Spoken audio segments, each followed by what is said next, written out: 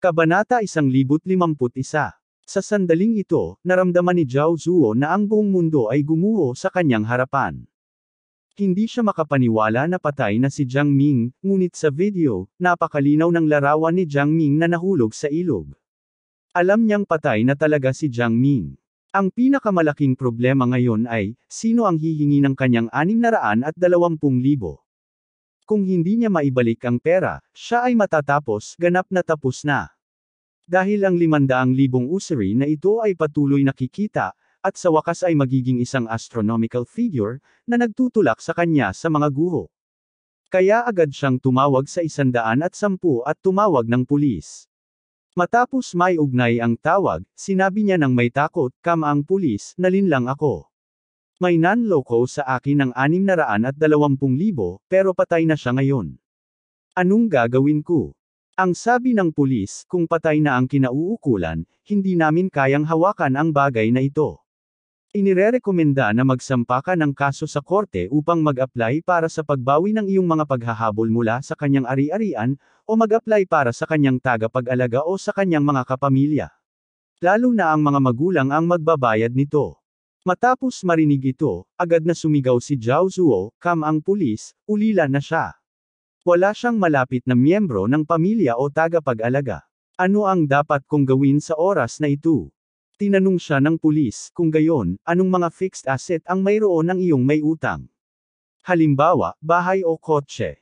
Kung mayroon ka, maaari kang mag-apply sa korte para sa pagpapatupad at ibenta ang kanyang mga personal na ari-arian. Nang marinig ito, biglang gumaling si Zhao Zuo. Malinaw na patay na si Jiang Ming, ngunit nag-iwan pa rin siya ng isang Mercedes at isang Phaeton. Ang Mercedes-Benz na iyon ay maaaring nagkakahalaga ng 3 hanggang 400,000, ngunit ang Phaeton na iyon ay napakahalaga. Kung makukuha niya ang Phaeton na ito, hindi lang siya makakapagbayad ng mga utang, kundi ang dagdag na pera ay magkakaroon din siya ng maliit na tubo.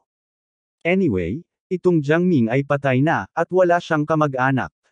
Natural lang sa kanya na kunin ang kanyang ari-arian, at dapat walang mag-aalaga dito. Kaya ibinaba ni Zhao Zuo ang telepono at pinaandar ang sasakyan diretso sa bahay ni Jiang Ming. Si Jiang Ming ay hindi bumili ng bahay sa Ores Hill, ngunit umupa siya ng one-bedroom apartment sa isang medyo malayong lugar. Bago ang aksidente, ang kanyang buhay ay medyo basa-basa. Ang iniisip ni Zhao Zuo sa oras na ito ay pagkatapos niyang pumunta sa bahay ni Jiang Ming, nag-isip muna siya ng paraan para hilahin ang fete ni Jiang Ming. Tiyak na hindi niya magagawang imaneho ang kotse, ngunit pagkatapos na hilahin ito, dahan-dahan niyang naiisip kung paano ito ibebenta. Nadama niya na kahit na ang isang top feet na Phaeton ay lansagin at naibenta ang mga bahagi, ang pera ay maaaring ibenta pabalik, kaya hindi siya mawala ng pera. Pero hindi niya inaasahan na sa pagkakataong ito, pinapanood din ni Abner ang sikat na video na iyon sa internet. Ngayon ang original na treat ni Orville. Siya at ang mga pangunahing kadre ng kanyang mga tauhan ay inanyayahan na kumain sa classic mansion, at kasama si Abner. Pero habang kumakain sila, biglang nagpapansinan ang lahat sa lumabas na video na ito. Lahat ito ay mga tao mula sa underground na mundo ng Oris Hill, at natural silang may alam tungkol sa Beggar Gang, at mayroon silang tiyak na kaalaman sa Regnar Beggar Gang. Biglang nakitang may sumisira sa buong barkada ng mga pulubi, isa-isang natigilan, at agad silang nag-usap sa handaan. Lahat sila ay labis na nag-aalala kung sino ang gumawa ng bagay na ito. Sabay hinaing nila na sobrang lakas ng kakayahan ng taong ito. Hindi nila inilagay ang pamilya Wu sa kanilang mga mata. Sumugod sila sa turf ng pamilya Wu at inilagay si Regnar, ang tagapagmana ng pamilya Wu. Ang bayaw ni Nanshan, at lahat ng nakababatang kapatid ni Nanshan ay pinatay, hindi lang ito isang bagay na kayang gawin ng mga ordinaryong tao. Ang lahat ay nag-isip na ang taong ito ay dapat na isang malaking figure sa isang tiyak na napakalaking pamilya. Si Orville lang ang nakakaalam sa puso niya na dapat si Mr. Wade ang humahawak ng lahat. Sa simula, si Abner ay katulad ng iba, ang pakialam lang sa kuryosidad at chismis. Gayunpaman, nang makita niya ang eksena kung saan pinatay si Jiang Ming, biglang nang inag ang kanyang puso. Di man ito. Bata pala ang nakabangga sa kotse niya. Hindi niya ibinalik ang sasakyan bago siya pinatay. Masyado bang kalokohan ito? Patay na siya, sino ang magbabayad ng kotse niya? Kabanata 1052 ang kotse mismo ay nagkakahalaga ng higit sa 2 milyon, at wala pang isang buwan mula noong binili niya ito. What more if Ed's king is that he was so stupid that he didn't pull off and throw the crashed car to him. Gusto niyang direktang bayaran siya para sa bagong kotse, ngunit hindi niya inaasahan na siya ay patay na. Ngayon hindi lamang ang bagong kotse ay hindi natagpuan, ngunit ang Phaeton na bumangga dito ay hindi pa rin alam kung nasaan ito. Sa pag-iisip nito, nagngangalit si Abner at sinabi sa kanyang puso, kahit ano paman, kailangan kong mahanap agad ang aking nabasag na Phaeton, kung hindi, malaki ang mawawala sa akin. Sa kabutihang palad, hiniling niya sa nakababatang kapatid na banta ang bata at alam niya kung saan nakatira ang bata. Kaya't hindi siya nang ahas na magantala, at agad na sinabi kay Orville, Orville, may kailangan muna akong harapin, at pagkatapos ay bumalik kapag natapos ko na ito. Tumango si Orville at nagsabi, kung gayon ay umalis ka, at bumalik ka agad kapag tapos ka na. Dadalhin kita sa Brilliant Club sa gabi. Naghiyawan ang mga tao. Walang isip si Abner na mag-isip tungkol sa napakatalino na club. Gusto lang niyang mahanap agad ang Phaeton niya. Tumayo siya at lumabas ng Classic Mansion. Pinapanood siya ng kanyang nakababatang kapatid at driver na sumakay sa isang lumang Audi A6 at naghihintay sa gate ng Classic Mansion. Direktang sumakay si Abner sa kotse at sinabi sa kanyang nakababatang kapatid, Bilasan mo, pumunta ka sa bahay ng bata kahapon. Nagtataka ang maliit na kapatid na lalaki, Kuya Abner, bakit ka pupunta sa maliit na bahay sa ganitong oras? Hindi ka ba kumakain kasama si Orville? Nagmamadaling hinimok ni Abner, huwag magsalita ng walang kaparirakan at magmaneho ng mabilis. Natatakot akong maaga ng iba ang Phaeton ko. Masasabing si Abner ay isang taong matagal nang nasa underground world, kaya marami siyang kaalaman sa maraming bagay. Alam niya na kapag namatay ang isang tao sa isang aksidente, maraming tao ang agad na maniniktik sa kanyang ari-arian sa paligid niya. Pakiramdam niya ay patay na ang bata. Ano ang magagawa niya kung hindi niya makuha ang kanyang mga gamit? Kaya nag-aalala siya na maaga ang kanyang Phaeton. Pagkatapos ng lahat, ang top fit na Phaeton ay napakahalaga pa rin. Sa pag-iisip nito, nakakita siya ng isa pang Phaeton key mula sa glove box ng Audi A6. Kahit anong mangyari, kailangan niya munang ibalik ang sasakyan. Kahit na gumastos siya ng pera upang ayusin ang kotse, hindi ka mawawala ng isang Phaeton nang walang kabuluhan. Pumunta si Zhao Zuo sa ibaba ng bahay ni Jiang Ming bago siya. Nang makitang nakaparada si Phaeton sa ibaba, agad siyang nakahinga. Hanggat nandyan pa ang Phaeton, magiging maayos ang utang niya. Ngunit pagkatapos ay nagkaroon siya ng isa pang problema. Hindi siya marunong magmaneho, at wala siyang susi ng kotse. Hindi maalis ang Phaeton na ito. Kung hindi madala ang sasakyan, natural na imposibleng ibenta ito para sa pera. Sa pag-iisip nito, tinawagan niya ang isang kaibigan na nagtatrabaho sa isang repair shop at tinanong siya, pwede ka bang pumunta sa Jinx District at tulungan akong maghila ng kotse? Alam ng kabilang partido kung anong uri ng kabutihan si Zhao Zuo. Mahilig mag-take advantage sa kanya ang apo na ito. Kapag bumisita siya sa bahay ng isang kaibigan, hindi siya makapaghintay na gumawa ng dalawang tae sa bahay ng kanyang kaibigan upang kuskusin ang toilet paper at tubig ng ibang tao. Kaya agad na sinabi sa kanya ng kabilang partido, okay naman ang tow truck pero kailangan mo munang magbayad. Mayroong higit sa 10 kilometro mula dito hanggang sa Jinx. Magbayad ka muna ng 800. Galit na sinaway ni Zhao Zuo, ganyan lang, humihingi ka sa akin ng 800, bakit hindi mo kunin? Ang kabilang partido ay nagsabi ng masama, sa presyong ito, mahilig kang mag-procrastinate. Kabanata 1053 Sa sandaling ang kabilang partido ay direktang nagsabi ng mga hindi madamdaming salita, si Zhao Zuo ay hindi nang ahas na magpanggap na napipilitan. Nagmamadali niyang sinabi, magandang kapatid 800 ay 800, mabilis kang dumating, nagmamadali ako. Sabi ni Convenience, ilipat mo muna sa akin ang pera mula sa WeChat, kung hindi, paano kung i-shake mo ito ng kaunti? Palagi kang hindi maaasahan sa paggawa ng mga bagay. Matagal ko na itong natutunan. Walang magawang sinabi ni Zhao Zuo, oh, kuya, ikaw ang may huling say, Ililipat ko ang pera sa iyo mula sa WeChat, bilasan mo, huwag masyadong mabagal. Dumating ang pera bago umalis, kung hindi, walang paraan para magsalita. Si Zhao Zuo ay hindi na nang ahas na magantala pa, mabilis niyang kinuha ang kanyang mobile phone, agad na hinanap ang kabilang partido, at pagkatapos ay inilipat ang 800 sa kabilang partido. Ngunit nang mag-click siya upang kumpirmahin ang pagbabayad, natanto niya na ang kanyang balanse sa bank card ay hindi sapat. Noon lang niya napagtanto na para matulungan siya ni Jiang Ming na kumita, ibinigay niya sa kanya ang halos lahat ng ari-arian ng kanyang pamilya. Simple lang ang pag-iisip niya, mas marami siyang binigay, mas malaki ang kinikita niya, kaya hindi niya masyadong inisip, at limandaan na lang ang natira para sa sarili niya. Pera para sa mga gastusin sa pamumuhay, nagpaplanong suportahan si Jiang Ming upang ibigay ang pera sa kanyang sarili. Dahil dito, hindi man lang siya makabayad ng 800. Timandaan lang ang kaya niyang bayaran ni Zhao Zuo, at nagpadala ng boses na nagmamakaawa, Kuya, limandaan lang ang nasa card ko ngayon. Dapat mong kunin ang natitirang 300 mamaya, at babayaran kita kaagad kapag nakuha ko na ang pera. Ang kabilang partido ay direktang tumugon sa isang boses, huwag kang sumama sa set na ito, hindi ba kita kilala?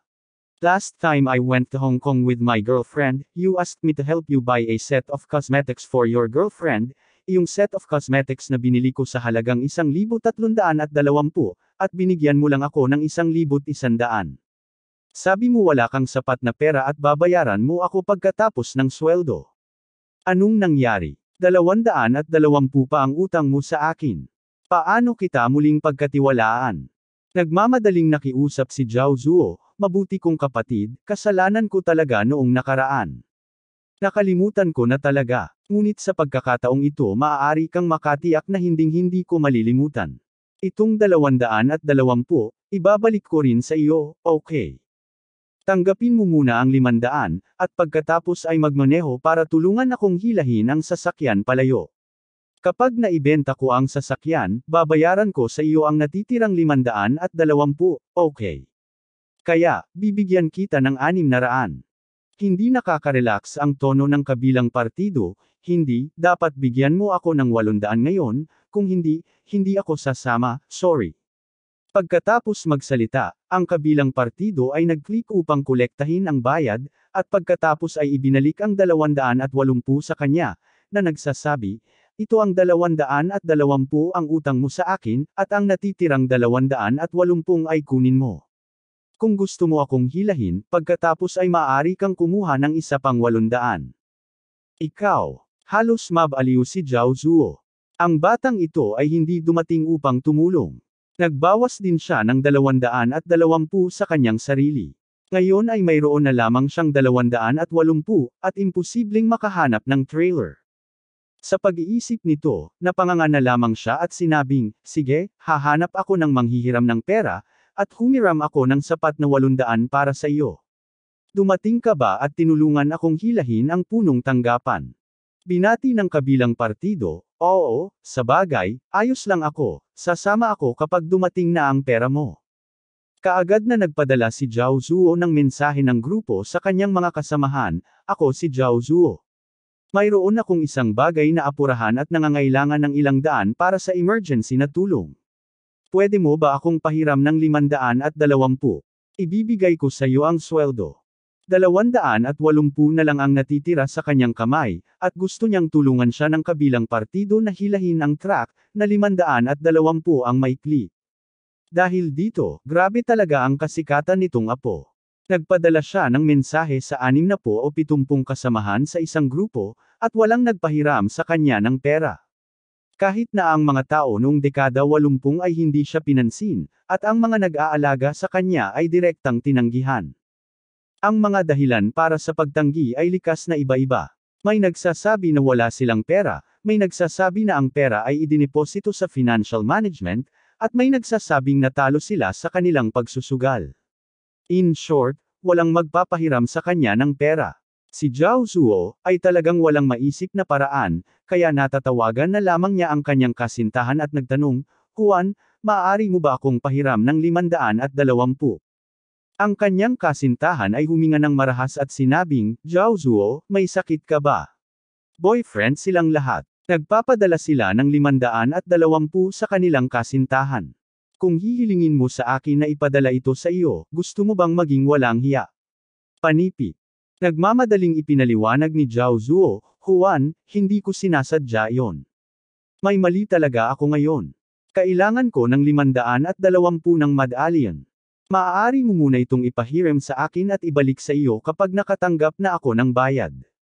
Ilang beses na sinabi ng kabilang partido. Zhao Zuo, ikaw, ikaw, masyado kang walang pangako. Nanghiram ka ng limandaan at dalawampu. Paano ang iyong ipon? Hindi ba't higit sa isang daang libo? Saan nagpunta? Sinabi ni Zhao Zuo, oh, ito ay isang mahabang kwento, kaya maaari mo akong bigyan ng limandaan at dalawampu para magamit muna ito, hindi ba kita mababayaran noon? Kabanata 1054 Sa pagkakataong ito, may boses ng lalaki sa kabilang dulo ng telepono, humihingal, habang sadyang hinihinaan ang boses at sinabing, Nako, kausap mo siya sa kritikal na sandali, maaari mo bang bigyan siya ng pera ng mabilis? Huwag niyang hayaang maantala ang mga bagay-bagay. Biglang nagtanong si Zhao Zuo, Juan, bakit may boses ng lalaki doon? Sino ang kasama ninyo? Nagmamadaling sinabi ng kabilang partido, Nako, pinsan ko, hindi ba ako nasaktan? Nagsasanay ako ng mga ehersisyo sa baywang sa kama, ngunit hindi ako nagsasanay ng maayos, kaya't hiniling ko sa kanya na pumunta at tumulong. Napaiyak si Zhao Zuo, iniisip na noong tumawag siya noong huling pagkakataon, ang kanyang kasintahan ay nagsasanay sa bewang sa kama, kaya hindi na siya nag-alinlangan pa. Sa oras na ito, sinabi ng kanyang kasintahan sa kabilang dulo ng telepono, okay lang, hindi ako magsasalita ng kalokohan sa iyo, ililipat ko ang pera sa iyo sa WeChat mamaya. Nang marinig ito, agad na naging masaya si Zhao Zuo, at nagmamadaling sinabi, Juan, napakabait mo, salamat. Nagmamadaling sinabi ng kabilang partido, okay, hindi na kita kakausapin, ibababa ko na ang tawag. Matapos ibaba ng kabilang partido ang telepono, nagpadala siya kay Zhao Zuo ng pulang sobre na limandaan at dalawampu. Tuwang-tuwa si Zhao Zuo, at agad na tinawagan ang lahat ng walundaan sa kanyang account sa kanyang kaibigan sa garahe. Pagkatapos ay nagmamadali siyang hinimok, Brother, ang dalawandaan at dalawampung ay naibalik na sa iyo, at ang walundaang ay tinawag na sa iyo. Halika nga dito, nagmamadali ako. Ang kabilang partido ay naninangil kaagad ng pera at sinabing, ipapasa ko ang oras na ito. Higit sa dalawampung minuto bago makarating sa iyo. Malaki. Tuwang-tuwang sinabi ni Zhao Zuo, tawagan mo ako kapag nakarating ka na. Nag-squat si Zhao Zuo sa harap ng sasakyan ng Phaeton, sabik na naghihintay na dumating ang kanyang kaibigan. Pagkaraan ng sampung minuto, tumawag ang kabilang partido at sinabi sa kanya na makakarating na siya sa loob ng ilang minuto. Ngunit sa oras na ito, isang matandang Audi A6 ang nakaparada sa kanyang harapan. Sa wakas ay nakahinga ng maluwag si Abner nang makitang nandito ang kanyang Phaeton. Di man, bagamat walang nagayos ng sasakyan para sa kanya, bahagi ito ng pagkawala. Kung hindi, kung ang kotse na ito ay hindi natagpuan, kung gayon ang bata ay patay, at siya ay talagang naliligaw. Sa pag-iisip nito, sinabi niya sa kanyang nakababatang kapatid na lalaki, ibinabalik ko ang Phaeton na iyon, sumunod ka sa akin.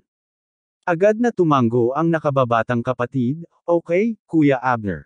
Itinulak ni Abner ang pinto at lumabas ng sasakyan. Nalungkot siya dahil nasira ang sasakyan at walang nagayos. Nawala niya ang isa pang remote control key.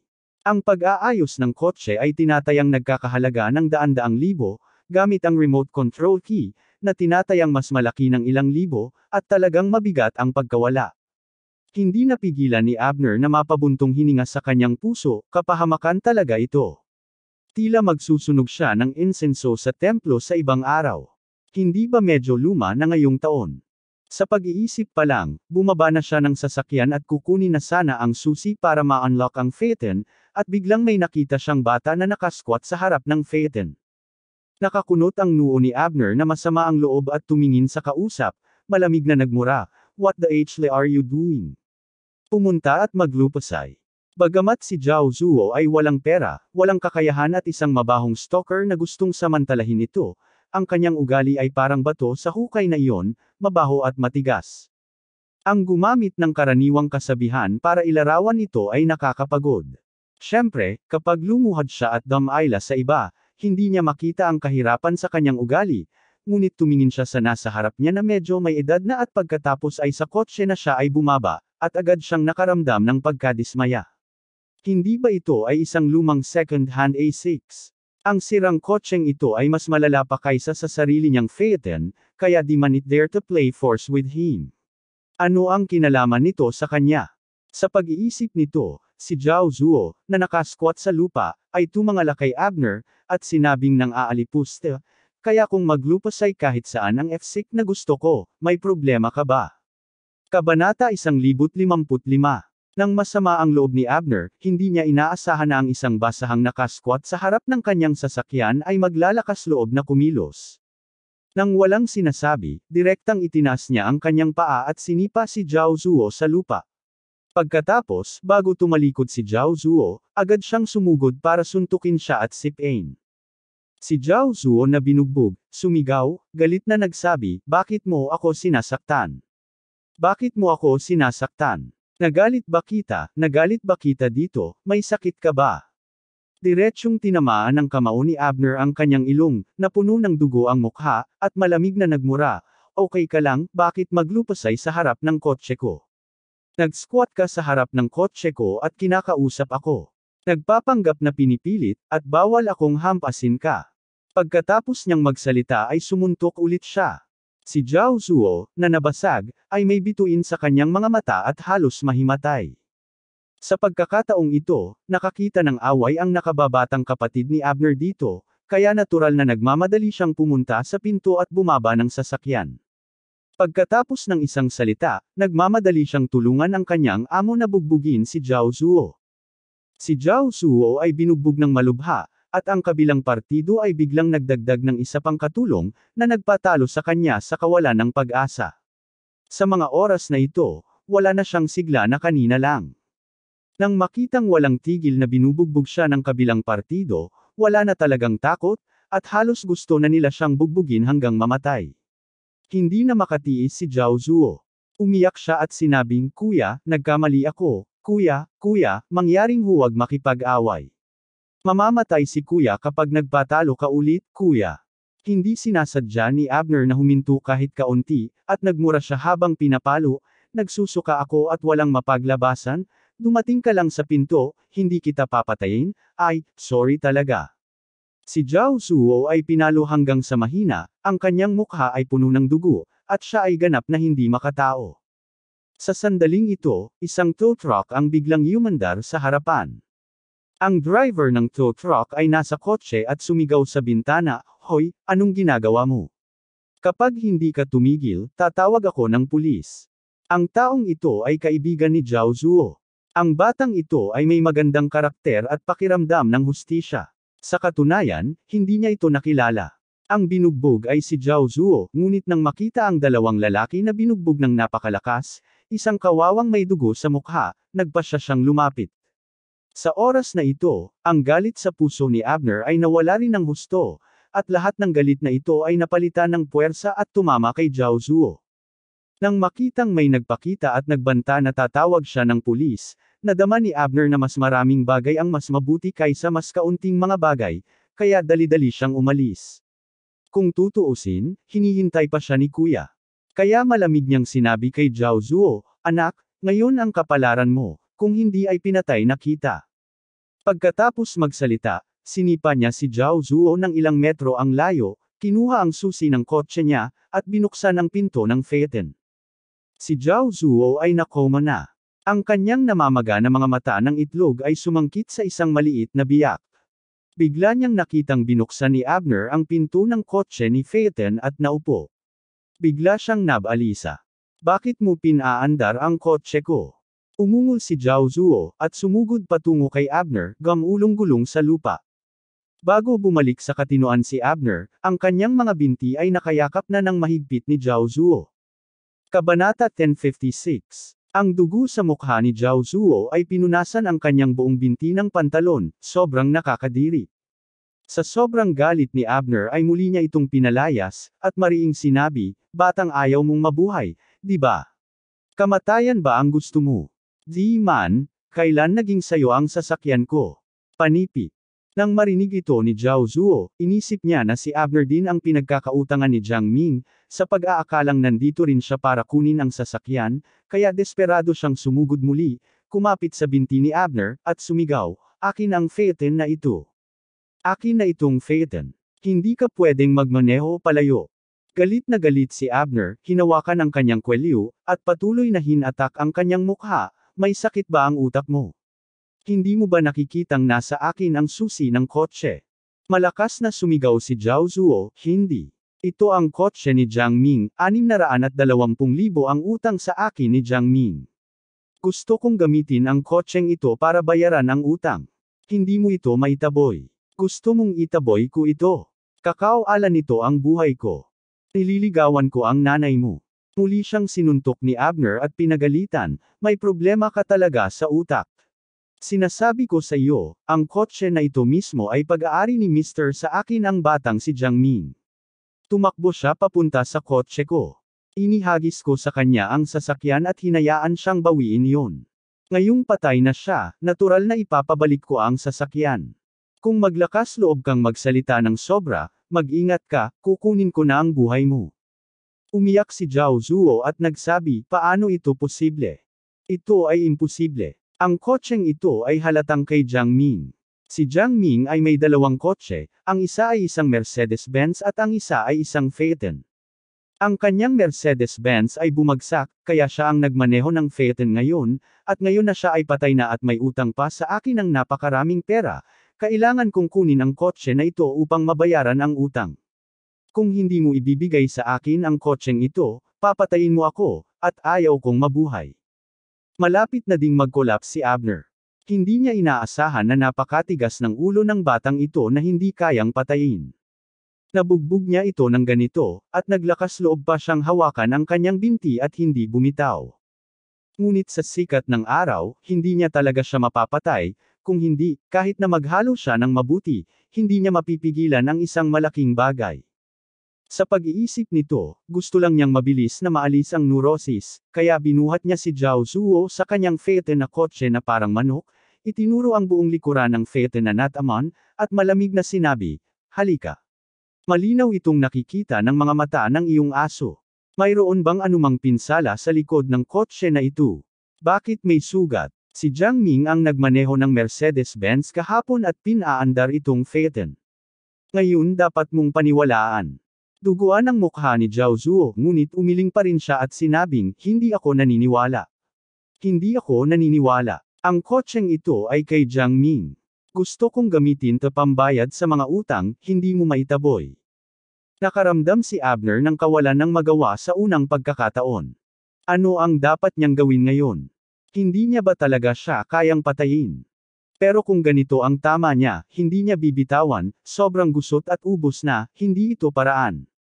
Sa desperasyon, sumigaw siya sa kanyang nakababatang kapatid, Wilson Wu, kinuha mo ang lisensya sa pagmamaneho nitong Phaeton mula sa armrest box ng Audi A6.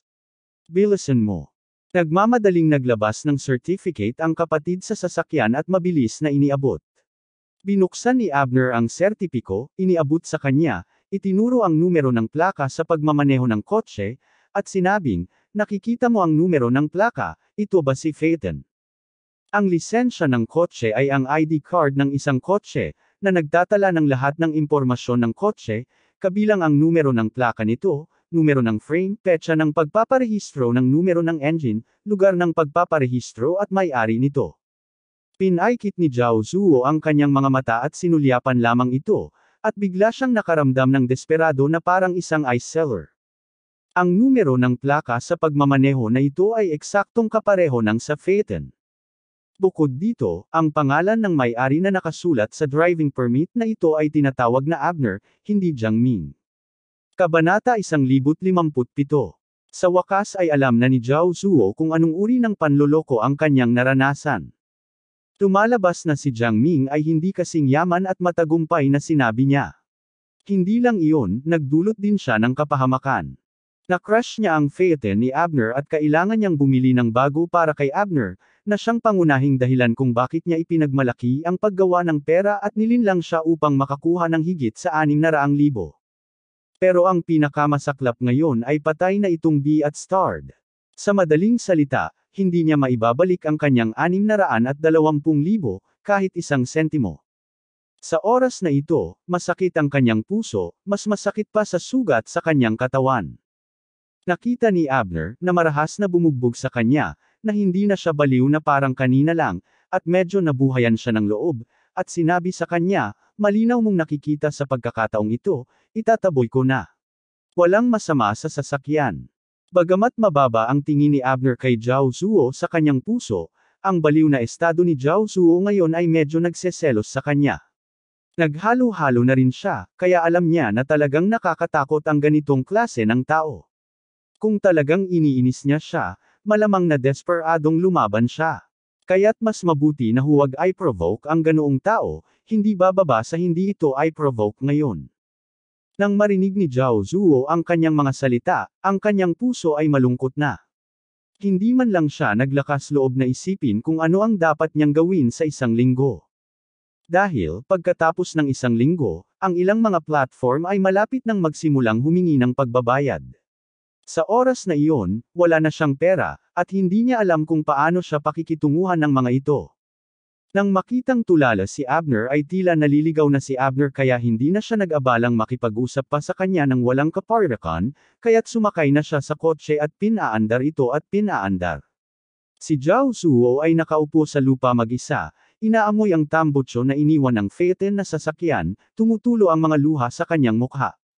Patuloy ang pag-agos ng kanyang mga luha, may halong dugo at alikabok sa kanyang mukha, na nag-iwan ng dalawang halatang bakas ng luha sa kanyang mukha.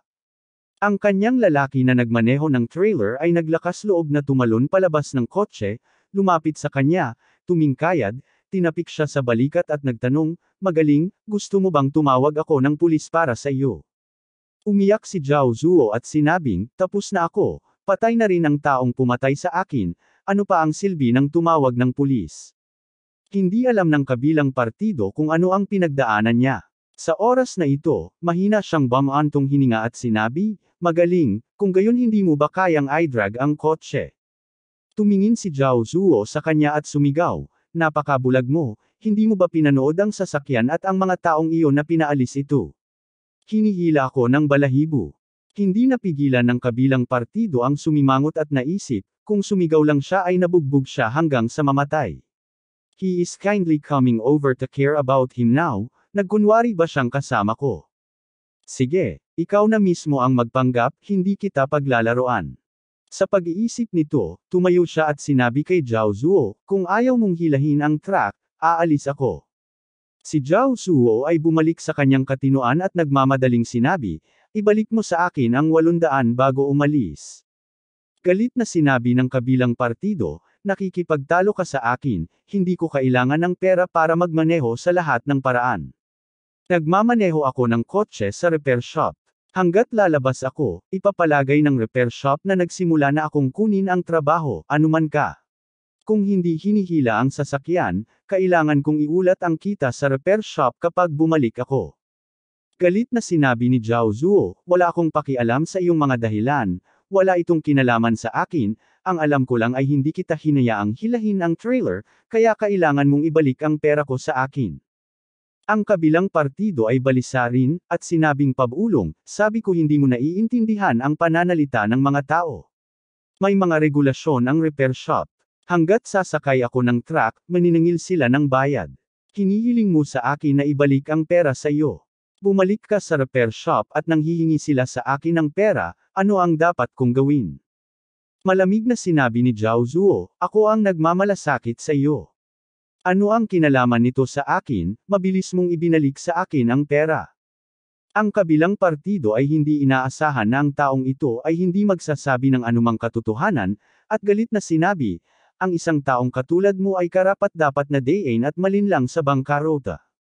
Kabanata 1058. Pagkatapos magsalita, hindi niya ito pinansin at tumalikod. Napapikit si Zhao Zuo upang maabutan, at nagmura, ikaw be at starred, mabilis na ibalik sa akin ang pera, kung hindi, hindi ako matatapos sa iyo. Nurota. Nagmura ang kabilang partido, umakyat sa trailer at umalis. Hindi naabutan ni Zhao Zuo ang kanyang truck, at ang kanyang puso ay labis na nagalit, ngunit nang makitang umalis na ang kabilang partido, wala siyang magawa, at ang kanyang matinding kawalan ng pag-asa ay napalitan ng galit ngayon. Ngayon, ang kanyang pangunahing prioridad ay kung paano haharapin ang 500,000 usura. Sa sandaling ito, pakiramdam niya ay halos desperado na ang kanyang buhay. Sa oras na ito naisip niya ang kanyang kasintahang si Juan. Si Zhao Zuo ay isa ring ulila. Wala siyang ama, walang ina, at walang kamag-anak. Girlfriend niya ang babaeng ito kaya naramdaman niyang si Juan lang ang kamag-anak niya. Ngayong nakatagpo na siya ng ganoong malaking atraso, kapag desperado na siya at hindi na alam ang gagawin, gusto na lang niyang makita ang pinakamamahal niyang babae, umaasang mabibigyan siya ng kaginhawaan ng pinakamamahal niyang babae. Kaya't pinunasan niya ang kanyang mukha gamit ang kanyang mga damit, dahan-dahan sa gate ng komunidad, at huminto ng taxi. Nakita ng taxi driver na napakasama ng hitsura niya at hindi siya nang ahas na huminto para sa kanya. Ngunit hinawakan niya ang rearview mirror ng kabilang panig at hindi binitawan, at sumigaw, kung hindi mo ako hahabulin ngayon, magrereklamo ako sa iyong kumpanya. Hindi naman nang ahas ang taxi driver na tumanggi ng tahasan ang sakay, kaya naisakay na lang siya nito at ihatid sa lugar kung saan matatagpuan ang bahay ng kanyang kasintahan ayon sa kanyang kahilingan. Gayunpaman, si Zhao Zuo ay walang pera at hindi kayang bayaran ang pamasahe sa taxi. Mabibilang lang niya sa kanyang puso, may isang napakakipot na eskinita malapit sa bahay ng kanyang kasintahan, at ang eskinitang iyon ay hindi madadaanan ng mga sasakyan, at napakalikod sa loob. Kung hilingin niya sa driver na huminto sa eskinita na iyon at pagkatapos ay pumasok siya sa eskinita habang hindi siya handa, hindi niya ito dapat maabutin. Sa ganitong paraan, hindi na niya kailangang magbayad ng pamasahe sa taxi. Ginagawa ni Zhao Zuo ang iniisip niya. Nang malapit na siya sa bahay ng kanyang kasintahan, pinahinto niya ang driver sa eskinita. Pinatay ng driver ang metro at sinabing, 45. Tumango si Zhao Zuo, binuksan ang telepono, binuksan ang WeChat at iniskan ito at sinabing, wala akong pera, i-scan ang QR code para magbayad. Direktang sinabi ng driver, may WeChat QR code sa likod na hilera. Pakiskan ng direkta ang code. Nagkunwari si Zhao Zuo na iniskan ang QR code, pagkatapos ay nagkunwaring nagkukunwari saglit, at sinabi sa driver, na ilipat na ang pera ni Mr. Sinabi ng driver, hindi ko narinig ang prompt, nasa akin ang lahat ng voice prompt. Sinadya ni Zhao Zuo na sinabi, siguro hindi maganda ang internet, at matatanggap mo ito kaagad. Pagkatapos magsalita, agad na tinulak ni Zhao Zuo ang pinto ng kotse, at tumakbo sa eskinita na parang nababaliw. Naisip niya na pamilyar siya sa lupain ng eskinita na ito, at maaari niyang maalis ang driver sa pamamagitan ng pagpasok at pag-ikot ng dalawang beses. Hindi niya inaasahan na nabugbog siya ng ganito. Pagkababa niya ng sasakyan at tatakbo na sana ay agad siyang napabuntong hininga. Naramdaman niya ang matinding pananakit ng puson ko, at ang isa ay bumagsak sa lupa nang hindi tumatayo. Sa oras na ito, napagtanto din ng driver na siya ay tatakbo, at nagmamadaling itinulak ang pinto upang habulin siya, at natagpuan na siya ay nahulog sa lupa, at galit na sinabi, gusto mo bang tumakbo bago pa mabayaran ang pera? Bigyan mo ako ng pera dali. Kabanata 1050 Nakahiga si Zhao Zuo sa lupa, nakatingin sa mabangis na taxi driver, ang kanyang ekspresyon ay hindi na ang kay abangan niya nang ihinto niya ang sasakyan at pinagbantaan siya. Tumingin siya sa driver, umiiyak at nagmamakaawa, Guro, nabangkarote lang ako at wala, at may utang ako. Nabugbog na naman ako sa ganoong sitwasyon. Wala talaga akong pera pambayad ng pamasahe, please. Pakawalan mo na ako. Galit na sinabi ng driver, may utang ka, at may utang pa ako. Kung may pera ako, magbubukas pa ba ako ng rental car? Sa tingin mo ba ay wala itong 45? Sapat na itong 45 para makakain ako ng dalawang araw. Ilabas mo sa akin dali. Sumigaw si Zhao Zuo, Guro, wala talaga akong pera, at wala akong anumang mahahalagang bagay sa aking katawan. Nakikiusap ako, maawa ka sa akin. Malamig na sumigaw ang taxi driver, huwag kang sumama sa set na ito, kung hindi mo ako bibigyan ng pera, tatawag ako ng pulis. Nang marinig ito ni Zhao Zuo, nagmamadali siyang bumangon, lumuhad sa ilalim ng kanyang mga paa, at yumuko sa kanya, Guro, wala talaga akong pera. Kahit patayin mo ako, wala akong pera, pakiusap ko. Nakikiusap ako, hindi ba pwedeng magkautaw na lang ako sa iyo? Tinatrato mo lang ako bilang iyong anak at nagkautaw sa iyo sa bagong taon para kumustahin. Hindi ba kailangan mo rin akong balutin ng pulang sobra? Ang taxi driver ay hindi pa nakakita ng gayong walang hiyang tao, at siya ay nanginginig sa galit, ikaw, bakit napakawalan diya mo? Wala ka bang magulang? Kung alam ng iyong mga magulang na nasa labas ka ng kotoang para sa iba sa loob ng 45, ano ang magiging damdamin nila? Maasim ang ilong ni Zhao Zuo, sinabi sa iyo ni Master na ulila na ako. Wala akong ama at ina simula noong bata pa ako. Tumaki ako sa Ores Hill Welfare Institute. Ang pag-alis, hindi lang niloko ng B at Start na iyon ang aking 120,000 na ipon, kundi dinaya rin ako para pautangin siya ng 500,000 usura mula sa iba't ibang loan apps. Ngayon ay patay na siya. Nang makita ng taxi driver na tila hindi siya nagsisinungaling, hindi niya maiwasang mabigla, nagmamadali sa isang mayaman na lipunan, bakit may mga malas na tao. Nang makita niya ito, hindi niya talaga nakayanan, at patuloy siyang pinilit para sa pamasahe. Kaya't bamantong hininga siya at sinabi kay Zhao Zuo, para sa kapakanan ng iyong kahabag-habag na buhay, dahil wala kang ama at ina, kalimutan mo na ito sa pagkakataong ito. Kung malas ka, ipapasakay kita sa kotse. Nang marinig ito ni Zhao Zuo, agad siyang kumatok muli ng tatlong ulo at nagpapasalamat na nagsabi, napakabait mong tao, ikaw ang aking pangalawahing magulang. Pagkatapos magsalita, itinaas niya ang kanyang ulo, tumingin sa tsuper ng taxi, at nakiusap, tinanong mo na akong kunin ang kotse. Maaari mo ba akong bigyan ng isa pang limampu at ituring mo ako para sa isang pagkain? Sa sobrang inis ng taxi driver ay pinalayas niya ito at sinumpa, Sure enough, a poor person must have something to hate. Masasabi mo kung napakawalan diya mo. Nakumbinsi mo talaga ako. Pagkatapos magsalita, bumalik ang driver sa taxi, pinaandar ang sasakyan at umalis. Nagpumiglas si Zhao Zuo na bumangon mula sa lupa, tinapik ang lupa sa kanyang katawan, at naisip sa kanyang sarili, bagaman medyo magulo ang proseso, sa huli ay nailigtas nito ang 45. Umabot ito ng 45 para sa taxi driver, na nagpaginhawa ng kaunti kay Zhao Zuo. Nakada pa siya sa bahay ng kanyang kasintahan, iniisip sa kanyang puso, sa oras na makita niya ang kanyang kasintahan, dapat niya itong yakapin at umiyak. Ang bahay ng kasintahan ay nasa isang barong-barong na bayan sa lungsod na ito, na siyang uri ng sariling gawang bahay, na medyo sira-sira. Gayunpaman, sa mga mata ni Zhao Zuo, ito ay isang minahan ng ginto, dahil ang mga shanty town ay pinangangasiwaan ngayon kung saan-saan, Sinasabing ang bahay ay gibain kapag ito ay jin iba, at ang bahay ay mawawala kapag ito ay jin iba. May magkasunod na dalawa o tatlong bahay. Kaya naman, sabik na rin siyang makasal ng mas maaga sa kanyang kasintahan, upang makasama niya ang kanilang pamilya at maging manugang, at pagkatapos ng demolisyon sa hinaharap, maaari siyang magbahagi ng ilang mga benepisyo. Kabanata 1060 Pagdating niya sa pintuan ng bahay ng kanyang kasintahan, kumatok siya sa pinto, ngunit walang lumabas para buksan ang pinto. Hindi niya alam na nasa kwarto niya ng mga oras na ito si Juan na girlfriend niya at ganoon din ang ginagawa ng isang customer niya na bumili ng peking sigarilyo. Nagpadala siya ng tawag sa kanyang kasintahan sa WeChat, at hindi tumugon ang kabilang partido.